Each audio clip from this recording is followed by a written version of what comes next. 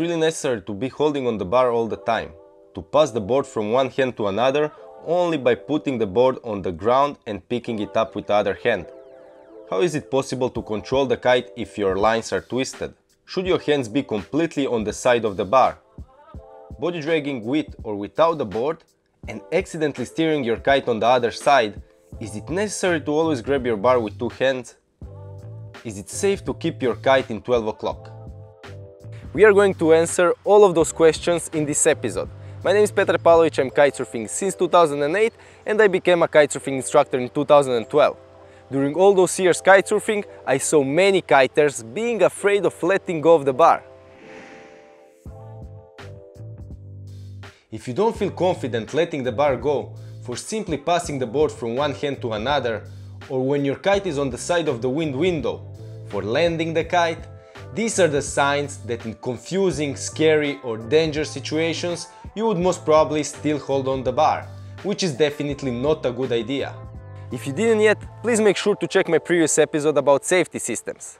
And I will give you some tips on how to get more confident in letting the bar go.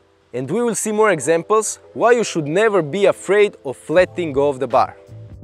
Most of us kitesurf instructors, during the first hours of the kite lessons, we are often telling our students to let go of the bar. I first like to start with just letting go of the bar and letting the kite fall on the beach or possibly on the water. When there is strong wind, the kite is falling slowly and most of the time just on the edge of the wind window.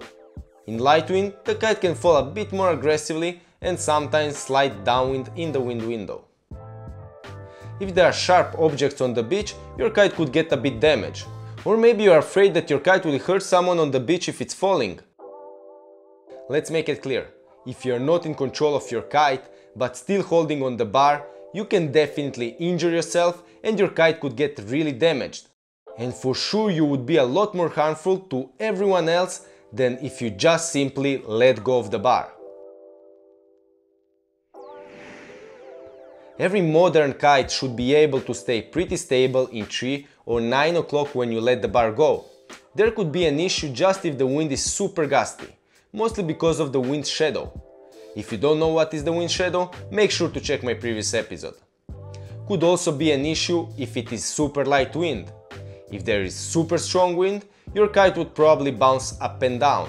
But anyway, it is still not necessary to keep holding the bar. Just if there is an issue with the length of the lines, maybe your kite will fly on the other side of the wind window, so you should be ready to use the Chicken quick release and check what is wrong with the lines or the kite. It is important to practice on the water or on a wide beach without people or sharp things that could damage your gear to simply let go of the bar and gently recover the bar. Pulling the kite with one hand over 12 o'clock, gently depowering and letting the bar go. It is definitely an important exercise you must do before trying twisting and untwisting the lines. Which is also an important exercise so you can understand that you should never panic if your lines get twisted. This is the main reason why we have different colors of the steering lines or on the bar. If you see that your lines are twisted, the most important is to correctly grab the bar. If you don't understand how you should hold on the bar, it is definitely better to let the bar go so that the kite gently falls on the water or on the beach. Because if you grab wrongly the bar, you might create a bigger mess. It is your choice if you want to untwist the lines while your kite is on the water or in the air by simply letting the bar go and gently spinning it. Make sure there is the right color in the right hand. If just spinning the bar is not enough to untwist your lines, because your backlines are twisted with the front lines, there is still no reason to panic. While controlling the kite, you would simply feel a different steering sensation. But you can normally control the kite and body drag or simply ride back to the beach, land your kite and reset up your lines. Holding the bar completely on the side is definitely possible, but I do not recommend it all the time. Even if the kite is super big and slow, there is no reason to hold on the bar hands far from another. Keeping your hands apart from another doesn't allow you to feel a good bar pressure. and it is much more difficult to control your kite without watching it. Any small mistake of steering can end up bad. And riding with your hands apart can make you steer the kite up and down, accidentally generating too much power for no reason, so it would be much more difficult for you to ride upwind. And for learning new kitesurfing moves, it's definitely not recommended to keep your hands apart on the bar. I would say that hold it this way is okay just if you're walking upwind on the beach. To time to time gently pull, just to keep the kite in a certain position. As your bar is depowered, you will easier walk upwind.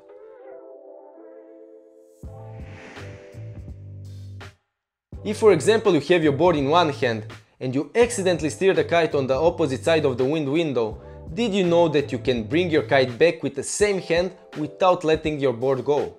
It's an exercise which a lot of instructors would say that is not good for beginners. Actually, I was thinking the same before, but some years ago Kolja, a German kitesurf instructor, explained me how this exercise should be explained to beginners so they are using it correctly. I started showing this exercise to all of my students.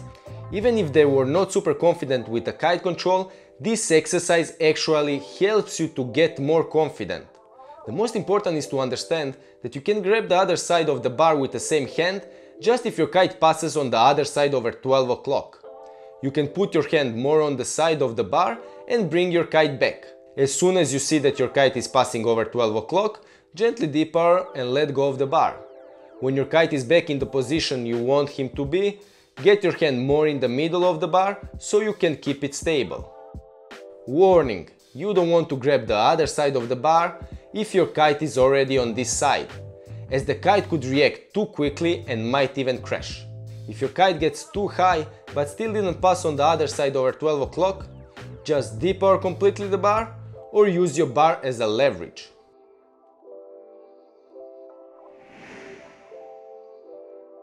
Keeping the kite in 12 o'clock is possible, but definitely not recommended.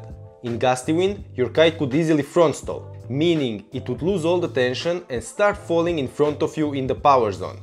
If this happens, I highly recommend to immediately use your chicken loop quick release as I explained in my previous episode about the safety systems, especially in strong wind.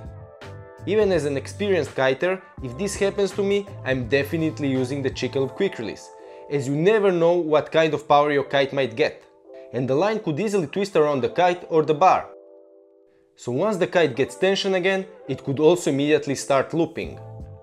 Even when putting the board on your feet, I highly recommend to keep your kite in 11 or 1 o'clock.